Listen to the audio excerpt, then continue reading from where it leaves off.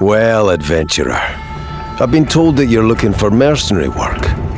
The life you're about to embrace is hardly a noble one, and it's definitely not easy, though it can be quite lucrative.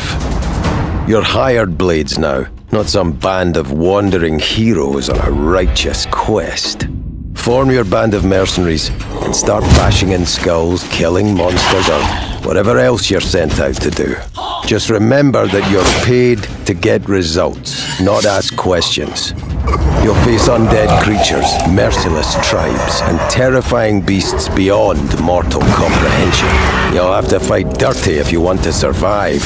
The enemies you'll encounter don't believe in playing nice. With success comes opportunity, but not every opportunity is worth your while. Some employers will ask you to unearth mysterious artifacts, better left alone.